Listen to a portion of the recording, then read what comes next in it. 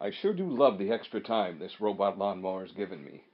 And I hope you like the videos of our uh, wild animals who certainly don't have any problem with them. Get your Robomow if you want at usa.robomow.com backslash shop. Use the link below. And be sure to enter Scott is